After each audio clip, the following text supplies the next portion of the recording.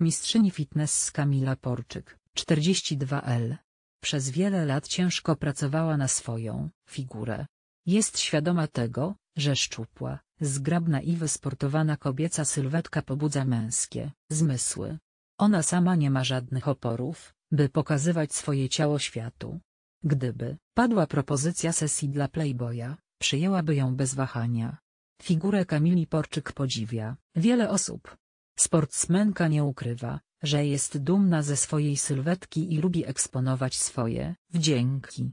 Reklama, jestem ekshibicjonistką, uprawiałam ponad 15 lat fitness, czyli oprócz tego, że to była runda układu dowolnego z elementami gimnastycznymi, siłowymi, choreografia, muzyka, piękne stroje, to też to była runda sylwetkowa, czyli stałyśmy w kostiumach kąpielowych z bardzo mocno wyciętymi majteczkami i tak naprawdę pokazywałyśmy ciało. Więc ta praca naście lat nad ciałem daje mi dziś takie pozwolenie na to, żeby pokazywać to ciało i wcale się nie wstydzić, więc jestem otwarta.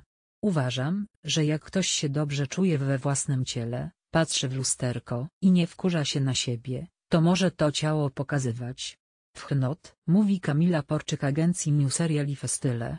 Mistrzyni fitness zdradza też, że gdyby otrzymała propozycję odważnej sesji dla poczytnego męskiego magazynu, nie miałaby oporów, by stanąć przed obiektywem. Jeśli byłaby propozycja z Playboya, na pewno bym rozważyła ją pozytywnie, ponieważ tak jak mówię, czuję się świetnie we własnym ciele i lubię to ciało pokazywać.